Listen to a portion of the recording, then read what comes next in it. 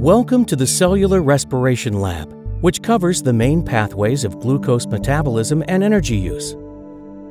The storyline starts with a contract for the student by the national football team to perform a study on how our body utilizes the energy.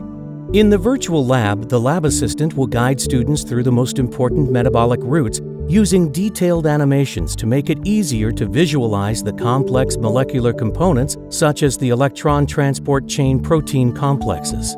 Students will have to think about the best experimental strategy, animal models, and their experimental observables. They will use a respirometer to measure oxygen consumption and a chip that senses lactate and glucose blood levels to measure how cells utilize the energy. Quiz questions will be asked throughout the experimental processes. Students will also analyze the data from their experiments and use their results to give advice to the coach of their national football team. Would that have an impact in the team's achievements? Besides the core lab, Labster provides a full theory section, which provides the student with relevant background information when needed.